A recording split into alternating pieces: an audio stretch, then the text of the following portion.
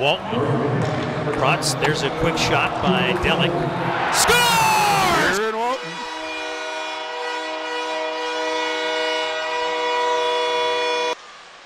To Goyette. Goyette will get it into Dvorsky. Now Musty trying to get himself in position. That side scores!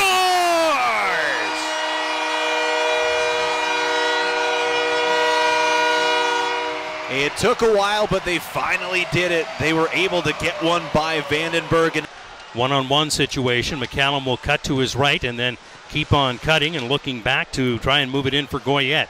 A bouncing puck to Goyette. He's going to send it back to Protz. And then Delic will do that very thing as Protz will work in. They score!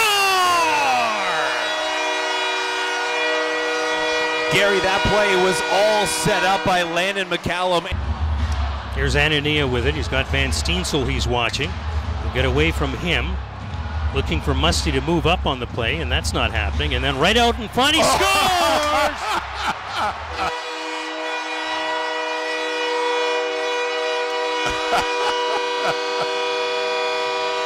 Yeah, that makes more sense. Long pass up on the front side. Poor Kocha Delic trying to get it in. Oh. Scores! You'll see that one in the highlight reel. Yeah.